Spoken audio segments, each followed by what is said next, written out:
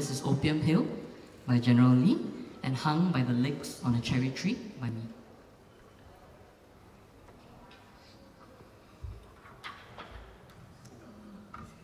Under the shade of branches, a bulbousness, firm, ripe, ready to be plucked.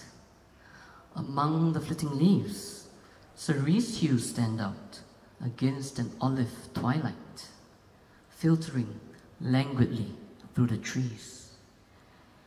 Placidly, a pendulous weight swaying amidst a gust of wind, amid bringing a fragrance of gunpowder, still acrid, burning oil, the tang of terror, wafting over spent shells and swathes of once virgin land, creeping over ridges of pain, in needless waves of sorrow and grief, lingering on the air like ghosts, dearly departed, memories of life and love lost.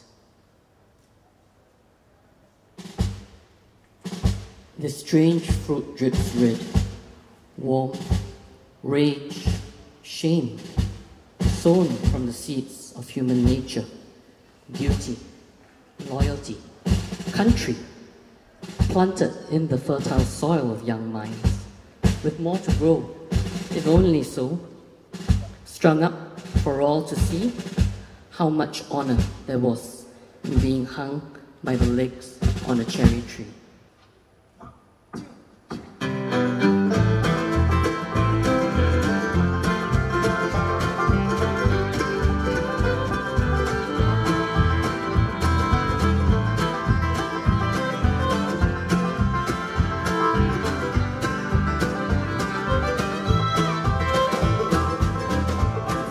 42 men sons of land lying in the grass the race cut through the sand. Heavy hearts big still knows none making sense of what I've been and things that were gone manner of rain fell upon the precious ground. A thousand men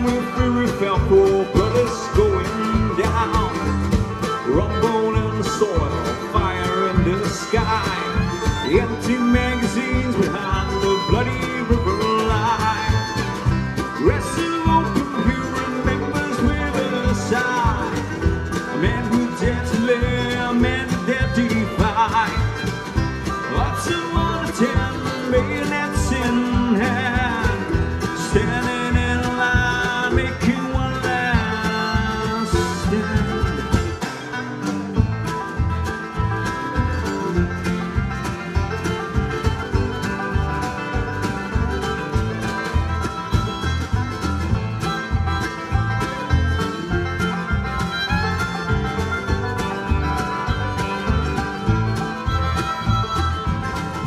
Lewis gun would not fire anymore.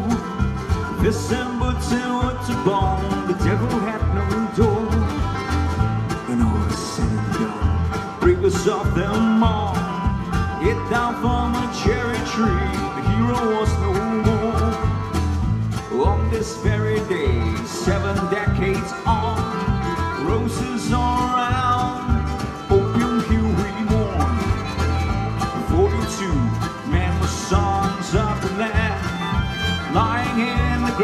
beneath the history's sand.